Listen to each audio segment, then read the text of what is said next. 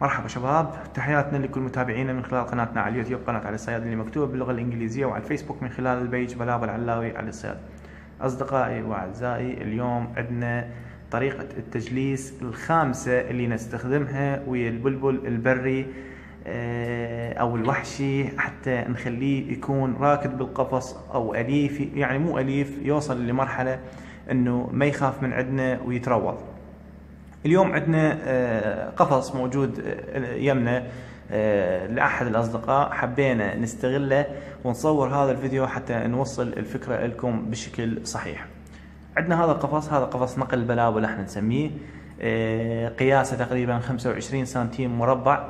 القفص مثل ما تلاحظون بمشثم واحد بس. قفص صغير كلش البلبل ما يقدر يطاير منا ومنا الأكل والمي كله قريب عليه بحيث إنه على هذا المشتم يوصل لأكلة ومية وينام على هذا المشتم. يعني البلبل شلون نقول إحنا متقيد بهذا القفص وما يقدر يتهزم منا ومنا هاي الطريقة أنا أعتبرها أسهل طريقة وخلينا نقول من الطرق الناجحة والفعالة. مية بالمية.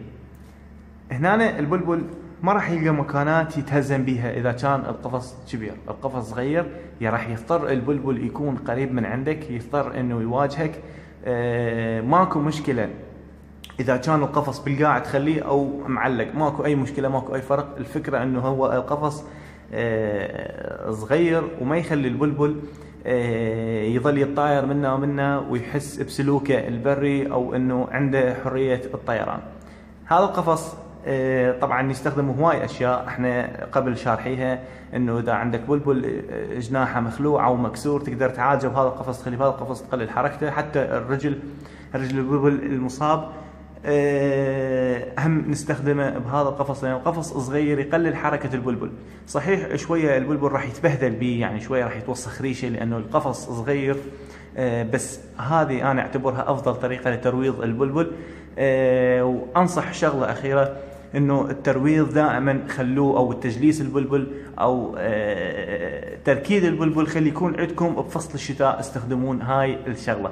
ليش البلبل بفصل الشتاء ما يتعب ما يتأذى ونقدر نضغط عليه آه، بدون ما يعني يتأذى الطير أو يفحط أو يلهث أو يمرض.